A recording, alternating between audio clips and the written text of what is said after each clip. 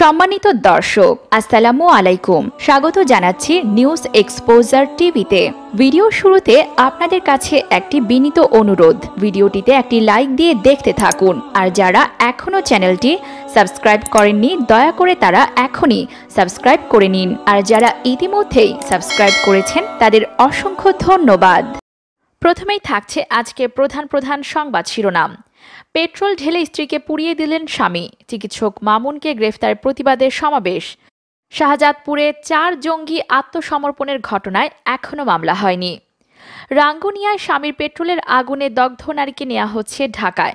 সাত দিন পর কিশোরীকে পুকুরে ফেলে গেল জিন। এবার দেখুন বিস্তারিত সংবাদ। পেট্রোল ঢেলে স্ত্রীকে পুড়িয়ে দিলেন স্বামী। যৌতুকের জন্য চট্টগ্রামের রাঙ্গুনিয়ায় চরম নৃশংসতার শিকার হল গৃহবধূ। পেট্রোল ঢেলে স্বামী রাফেল পুড়িয়ে দিয়েছে স্ত্রী ইয়াসমিনকে। এতেও ক্ষান্ত হয়নি সে, পোড়া শরীরে চালায় নির্যাতন। ঘটনার পর পালিয়ে যাওয়ার সময় রাফেলকে গ্রেফতার করেছে পুলিশ। ইয়াসমিনের বাবা বাদী হয়ে হত্যা চেষ্টা মামলা করেছেন। পোড়া শরীর নিয়ে বার্ন ইউনিটে মৃত্যুর সাথে লড়েছেন গৃহবধূ ইয়াসমিন। ভালোবেসে বিয়ে করা স্বামীর নিষ্ঠুরতা ও পাশবিকতার আগুনে মৃত্যুপথযাত্রী ইয়াসমিন। দীর্ঘদিন ধরে ইয়াসমিনের বাবা রাফেলকে যৌতুকের টাকা দিয়ে আসছিলেন। সর্বশেষ টাকা না পেয়ে বৃহস্পতিবার রাতে ইয়াসমিনের শরীরে প্রথমে মোটর সাইকেলে পেট্রোল ঢেলে আগুন দেয় তার স্বামী। এখানে শেষ হয়নি রাফেলের নির্মমতার। এক পর্যায়ে পোড়া শরীরের ওপর চলে নির্যাতন। গৃহবধূর বাবা বলেন, বিভিন্ন সময় যৌতুকের দাবি করেছে, পরে আমি তাকে কেবল ব্যবসা দিয়ে প্রতিষ্ঠিত করে দিয়েছি। এরপর সে যৌতুকের দাবি করেছে, না দেওয়াতেই এই ঘটনা। চিকিৎসকরা জানান, ইয়াসমিনের শরীরে চল্লিশ শতাংশ পুড়ে গেছে। আশঙ্কাজনক হওয়ায় তাকে উন্নত চিকিৎসার জন্য ঢাকায় পাঠানো হয়। এ ঘটনায় রাফেলের বিরুদ্ধে রাঙ্গুনিয়া থানায় ইয়াসমিনের বাবা বাদী হয়ে হত্যা চেষ্টা মামলা করেছেন। Chittagong Rangunia officer in charge Mahbul Alam Milki বলেন, তার শরীর প্রায় চল্লিশ পার্সেন্ট পুড়ে গেছে। অবস্থা আশঙ্কাজনক, তাই তাকে নিয়ে আমরা পুরোপুরি আশাবাদী হতে পারছি না। সাত বছর আগে ভালোবেসে বিয়ে করে রাফেল ইয়াসমিন। চার বছরে একটি ছেলে সন্তান আছে তাদের। চিকিৎসক মামুনকে গ্রেফতার প্রতিবাদে সমাবেশ। রাজধানীর মাইন্ড এইট হাসপাতালে নিহত সিনিয়র সহকারী police super ASP Anisul Karim হত্যা মামলায় জাতীয় মানসিক স্বাস্থ্য ইনস্টিটিউট ও হাসপাতালের রেজিস্ট্রার আবদুল্লাহ আল মামুনকে গ্রেফতার প্রতিবাদে সমাবেশ করেছেন চিকিৎসকেরা। শনিবার তারা জাতীয় মানসিক স্বাস্থ্য ইনস্টিটিউট প্রাঙ্গণে এ সংহতি সমাবেশ করেন। বাংলাদেশ অ্যাসোসিয়েশন অফ সাইক্রিয়াট্রিস্ট এই সমাবেশের আয়োজন করে। সমাবেশ থেকে অবিলম্বে চিকিৎসক সুরক্ষা আইন বাস্তবায়নের দাবি জানান চিকিৎসকেরা। কর্মসূচিতে সংহতি প্রকাশ করেন স্বাধীনতা চিকিৎসক পরিষদের সচিব, সভাপতি অধ্যাপক এম ইকবাল আসলাম। তিনি বলেন, পরবর্তী সময়ে অ্যাসোসিয়েশন অফ সাইক্রিয়ারিস্ট যদি কর্মসূচি দেয়, তাহলে বিএমএ ও সচিব সংহতি প্রকাশ করবে। সাচিপের মহাসচিব অধ্যাপক এম এ আজিজ বলেন, এএসপি আনিসুল করিম হত্যা মামলায় বিভিন্ন খাতে প্রবাহিত করার চেষ্টা করা হচ্ছে। সমাবেশে অ্যাসোসিয়েশন অফ সাইক্রিয়াটিস্টের সাধারণ সম্পাদকের মোহাম্মদ তারিকুল আলম বলেন, আগামী মঙ্গলবার সারা দেশে বেসরকারি পর্যায়ের সব প্রতিষ্ঠানের স্বাস্থ্যসেবা বন্ধ রাখার কর্মসূচি দেওয়া হবে। সমাবেশে সংহতি জানিয়ে বক্তব্য দেন চিকিৎসকদের সংগঠন foundation for doctor safety and রাইটসের উপদেষ্টা আব্দুল নূর তুষার। এদিকে জাতীয় হৃদরোগ ইনস্টিটিউট ও হাসপাতাল পরিদর্শনকালে সাংবাদিকদের বিভিন্ন প্রশ্নের জবাব দেন স্বাস্থ্যসেবা বিভাগের সচিব আব্দুল মান্নান। তিনি বলেন, চিকিৎসক আব্দুল্লাল মামুন ন্যায় বিচার পাবেন। ঘটনায় তার সংশ্লিষ্টতা না থাকলে তিনি অবশ্যই মুক্তি পাবেন। তবে চিকিৎসকের আন্দোলন চলাকালে চিকিৎসা সেবা না পেয়ে কোনো রোগীর মৃত্যু হলে সেই দায় কে নেবে? সম্প্রতি মানসিক সমস্যায় ভুগে রাজধানীর আদাবরে মাইন্ড এইড হাসপাতালে ভর্তি হয়েছিলেন পুলিশ কর্মকর্তা আনিসুল করিম। ভর্তির পর কয়েক মিনিটের মধ্যে মারা যান তিনি। পরিবারের অভিযোগ, ভর্তির পরপর হাসপাতালের কর্মকর্তা কর্মচারীরা তাকে পিটিয়ে হত্যা করেছেন। সিসিটিভি ফুটেজেও মারধরের বিষয়টি দেখা যায়। এই মামলায় মোট তেরো জনকে গ্রেফতার করা হয়। এর মধ্যে জাতীয় মানসিক স্বাস্থ্য ইনস্টিটিউটের রেজিস্ট্রার আবদুল্লাহ আল মামুনও রয়েছেন।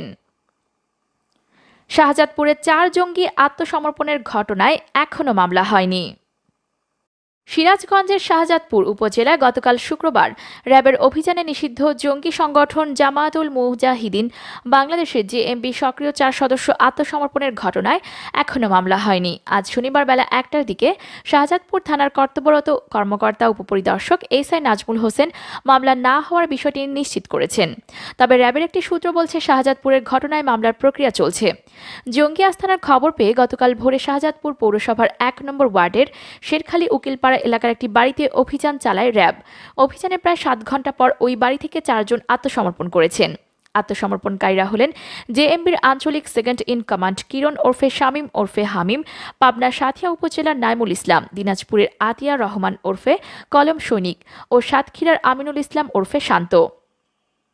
র্যাবের ভাষ্য, শাহজাদপুরে আত্মসমর্পণ করা চারজনই নিষিদ্ধ জঙ্গি সংগঠন জেএমবি সদস্য।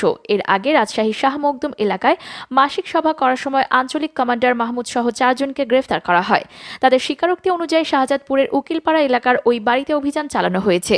শাহজাদপুর উপজেলা পরিষদের চেয়ারম্যান আজাদুর রহমান বলেন, স্থানীয় বাসিন্দারা তাদের ব্যাপারে কিছু বুঝে ওঠার আগেই র্যাবের হাতে জঙ্গিরা ধরা পড়েছে। বাড়ির মালিকদের ভাড়াটের ব্যাপারে খোঁজখবর নিয়েও সরকারি আইন মেনে বাড়ি ভাড়া দেওয়া উচিত, তাহলে এমন বিপজ্জনক পরিস্থিতি পড়তে হবে না। রাঙ্গুনিয়ার স্বামীর পেট্রোলের আগুনে দগ্ধ নারীকে নেওয়া হচ্ছে ঢাকায়। যৌতুক না পেয়ে ওই নারীকে পেট্রোল ঢেলে ঝলসে দেওয়ার অভিযোগে ওঠে স্বামী মোহাম্মদ রাসেলের বিরুদ্ধে। চট্টগ্রামের রাঙ্গুনিয়ার শুক্রবার ভোরে এ ঘটনা ঘটে। স্বামী দেওয়া পেট্রোলের আগুনে দগ্ধ চট্টগ্রামের সেই নারীকে ঢাকায় শেখ হাসিনা জাতীয় বার্ন অ্যান্ড প্লাস্টিক সার্জারি ইনস্টিটিউটে নেওয়া হচ্ছে। শনিবার বেলা এগারোটার দিকে তাকে চট্টগ্রাম মেডিকেল কলেজ চমেক হাসপাতাল থেকে ছাড়পত্র দেওয়া হয়। ওই নারীর বাবা হারুনুর রশিদ জানান, তার মেয়ের অবস্থা ভালো নয়। চিকিৎসকরা জানিয়েছেন শরীরের চল্লিশ শতাংশ পুড়ে গেছে। তাকে উন্নত চিকিৎসা দিতে ঢাকায় নিতে যেতে হবে। চমেক হাসপাতালে বার্ন ও প্লাস্টিক সার্জারি বিভাগের প্রধান ডক্টর রফিক উদ্দিন আহমেদ বলেন, উন্নত চিকিৎসার জন্য ওই নারীকে ঢাকায় নিয়ে যেতে বলা হয়েছে। এর আগে যৌতুক না পেয়ে ওই নারীকে পেট্রোল ঢেলে ঝলসে দেওয়ার অভিযোগ ওঠে স্বামী মোহাম্মদ রাসেলের বিরুদ্ধে। চট্টগ্রামের রাঙ্গুনিয়ায় গোয়ালপুরা গ্রামের সন্দীপ পাড়ায় শুক্রবার ভোরে এ ঘটনা ঘটে। এদিকে, ওই নারী স্বামী মোহাম্মদ রাসেলকে শনিবার আদালতে পাঠানো হয়। রাঙ্গুনিয়া থানা ভারপ্রাপ্ত কর্মকর্তা ওসি মোহাম্মদ সাইফুল ইসলাম বলেন, শুক্রবার আসামি রাসেলকে গ্রেফতার পর শনিবার সকালে আদালতে পাঠানো হয়। সাত দিন পর কিশোরীকে পুকুরে ফেলে গেল জিন। ময়মনসিংহের তারাকান্দায় নিখোঁজের সাত দিন পর সালমা নামের এক কিশোরীর লাশ উদ্ধার করেছে পুলিশ। শনিবার একুশে নভেম্বর দুপুরে উপজেলার গালগাঁও ইউনিয়নের ভাতিয়া গ্রামে বাড়ির পাশে পুকুর থেকে তার লাশ উদ্ধার করে পুলিশ। নিহত সালমা উপজেলার গালগাঁও ইউনিয়নের ভাতিয়া গ্রামের আহমদ আলীর মেয়ে। স্থানীয়রা জানান, সালমাকে প্রায়ই জিনে ধরতো, জিনে ধরলে সে পাগলামি করত। অনেক চিকিৎসা করেও সালমাকে ভালো করা যায়নি। তাদের ধারণা, যিনি সালমাকে তুলে নিয়ে গিয়েছিল, পরে তারা পুকুরে ফেলে গেছে। পুলিশ জানায়, গত চোদ্দই নভেম্বর সালমা বাড়ি থেকে নিখোঁজ হয়। আজ সকালে নিহতের নিজ বাড়ির পাশে পুকুরে তার লাশ দেখতে পায় স্থানীয়রা। পরে থানায় খবর দিলে পুলিশ গিয়ে লাশ উদ্ধার করে ময়নাতদন্তের জন্য ময়মনসিংহ মেডিকেল কলেজ হাসপাতালে মর্গে পাঠায়। এ বিষয়ে তারাকান্দা থানার ভারপ্রাপ্ত কর্মকর্তা ওসি আবুল খায়ের বলেন, ওই কিশোরী গত চোদ্দই নভেম্বর নিখোঁজ হলেও নিখোঁজের কোনো ডায়েরি করেনি তার পরিবার। সুরতহাল প্রতিবেদনে শরীরে কোনো আঘাতের চিহ্ন না থাকায় একটি অপমৃত্যু মামলা হয়েছে। আমাদের এখনকার সংবাদ এ পর্যন্তই। পরবর্তী সংবাদ দেখতে চাইলে আমাদের চ্যানেলটি যদি সাবস্ক্রাইব না করে থাকেন, তাহলে এখনই সাবস্ক্রাইব করে ফেলুন। সঙ্গে থাকার জন্য ধন্যবাদ সবাইকে। এরকম আরও অনেক ভিডিও পেতে নিউজ এক্সপোজার টিভির সাথেই থাকুন, চ্যানেলটি সাবস্ক্রাইব করুন এবং সাথে বেল আইকনটি বাজিয়ে দিন। আসসালামু আলাইকুম।